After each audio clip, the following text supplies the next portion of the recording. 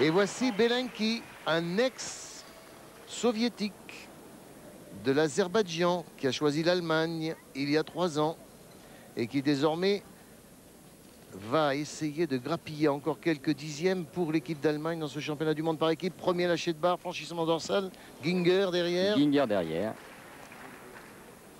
Un travail en Stalder inversé, proche de la barre. Changement de phase direct. Engagé, dislocation. Grand tour dorsal.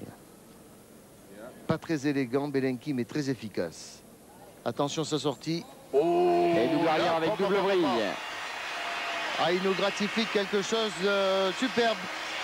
Et le public de Dortmund a compris que c'est un des peut-être euh, des moments forts de cet après-midi en direct parce que l'Allemagne s'installe sur le podium.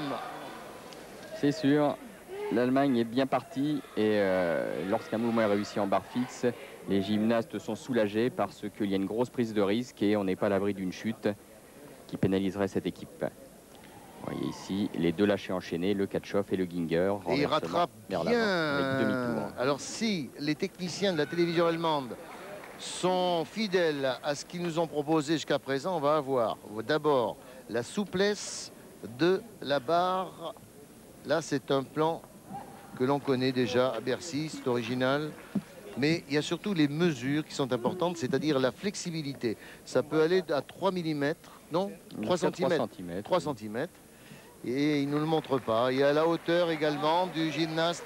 Alors Belenki 9,40, ça vous paraît peut-être pas énorme comme note, mais c'est important. Par équipe,